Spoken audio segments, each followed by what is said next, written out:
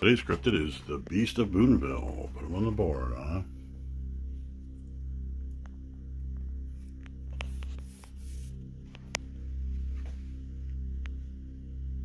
The Beast of Boonville. Hello there, and welcome back to Creepy American Cryptids. Today's episode takes place in the southwestern region of Indiana, where a large, furry, clawed creature has been encountered. During this episode, we will explore the area where the monster sighted, a description of this creature, the documented encounters with this cryptid, and what the Beast of Boone may actually be. The setting. The Beast of Boone is reported to dwell in the southwest section of Indiana known as Warrick County in the city of Boonville. Sightings and encounters with the Beast of Boonville mostly occur in and around forests, swamps, and fields containing edible produce such as blackberries. The creature.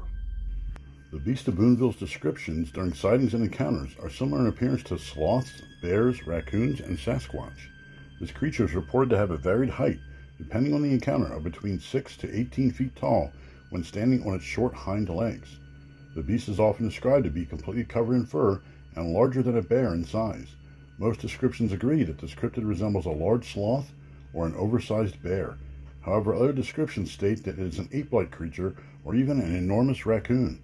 The Beast of Boonville is known for being violent, powerful, and aggressive. It is also known to attack without provocation and should be avoided if spotted. This cryptid has large razor-sharp claws on its front paws and has been known to do things such as grab a dog and tear it to pieces effortlessly. Another common feature of this creature is its foul odor. It is typically described as having its own excrement and bodily fluids putrefying in its own fur. This has an effect close to fertilizer, from the fecal matter and urine congealing and breaking down. Imagine the world's worst compost pile. It is so potent and vile, it is claimed that the cryptid may have mushrooms growing from its fur. The beast is also known for emitting blood-curdling shrieks and yells that can be heard from a great distance, according to the citizens of Boonville. The encounters. The first reported encounter with the beast of Boonville occurred in 1936, when a fisherman reports that his dog has been torn to shreds by an unidentified large hair-covered creature. The fisherman's wife screamed when she saw the creature, at which point it ran off. She described the beast as a towering monster larger than a bear. A second encounter with the creature occurs the following year in 1937 when the fisherman's wife once again sees the beast but compares it to a giant ape during this encounter.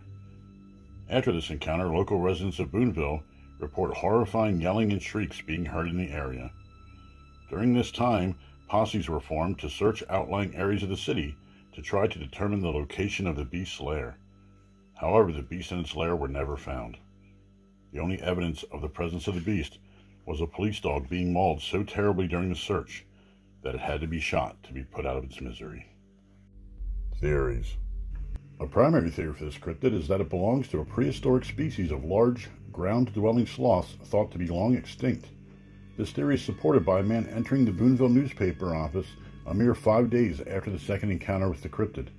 The man claimed that it was indeed a giant sloth that he and his uncle had caught two years prior during an expedition in Mexico. He states that they lost the animal near Evansville and were not able to recapture it. However, his claim is dubious as he was unable to verify if the creature had three or two toes, then became nervous and stated that they came in both varieties. The man's demeanor and uncertainty led to the workers at the newspaper believing that the man was lying to get attention. A secondary theory is that the beast of Boonville is an escaped circus animal, potentially a bear. This theory is supported by locals claiming to have witnessed a circus truck in the area that was empty but looked like it should have contained an animal. A tertiary theory is that the entire story was a hoax to keep people away from the farmers' fields so they would not pick and steal their blackberries. A quaternary theory is that the beast of Boonville is a misidentified Sasquatch. This theory is supported by several reports claiming that the creature was ape-like in appearance. However, these reports could also be a misidentification due to the cryptid being able to stand on its hind legs when it is not walking on all fours. Conclusions. Many researchers believe that the beast of Boone is a real species of possible prehistoric creatures that still stalk southwestern Indiana and many other regions in the United States and Mexico. This is a sensible conclusion as the reported encounters with this creature and similar creatures range from 1864 to the present day, with the beast of Boone potentially belonging to a larger classification of cryptids known as gorps. In this author's opinion, I believe that the wide area of encounters and sightings of this cryptid could actually be due to migratory patterns of groups of this cryptid throughout North America while searching for food and new habitats. This would account for the large distances in which this group of cryptids is sighted. We may never have the answers to all the questions and theories posed on this species of cryptid. However, one thing is for certain something has and likely is roaming the forests and fields of southwestern Indiana. If you find yourself traveling in these parts of Indiana, keep your eyes and nose open. Because if you see a large, long armed, fur covered creature lurking in the forest, or if you smell a pungent, putrid, rotting scent, you may be in the presence of the beast of Boonville.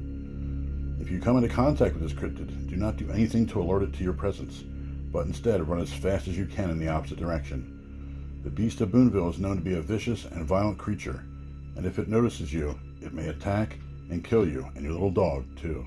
See you next time, folks.